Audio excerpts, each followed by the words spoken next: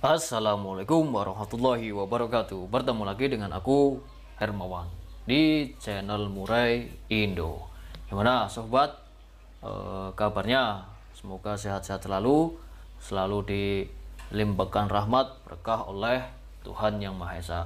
Nah kali di kesempatan kali ini Aku membahas tentang Cara merawat trotolan murai batu agar mutasi.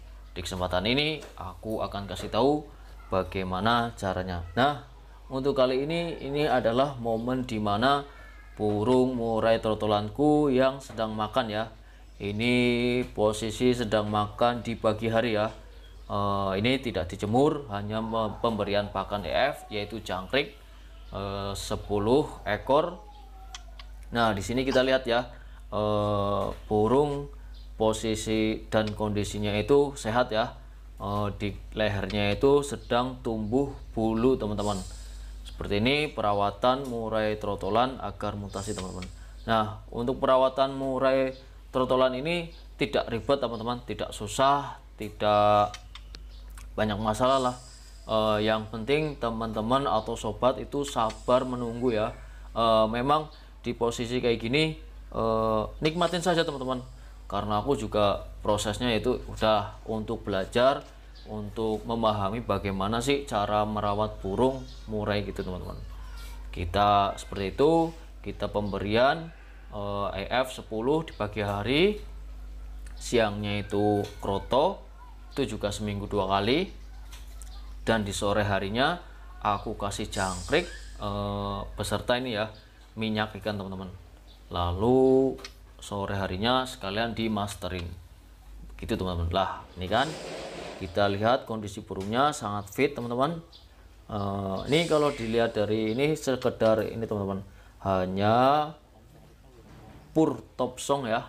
Pur top song air untuk minum dan tempat untuk EF ya teman-teman. Nah, tempat untuk EF pokoknya aku kasih 10 untuk EF tidak kurang tidak lebih.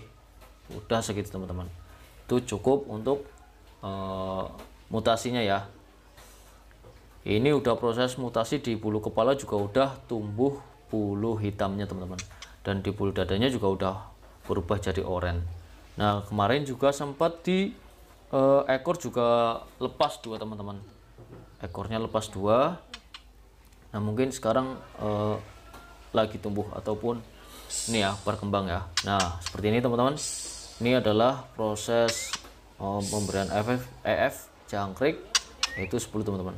Dia sangat lahap tuh kan? Kalau di sini kita lihat ya tuh kan di, wah dia punya factor itu lumayan teman-teman. Dibanding murai trotolanku ya Diburu- dibanding murai trotolan yang lain gitu maksudnya. Eh, tuh kan?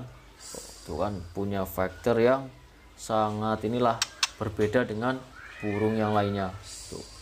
Dia sangat lahap sekali teman-teman untuk eh, memakan EF ya.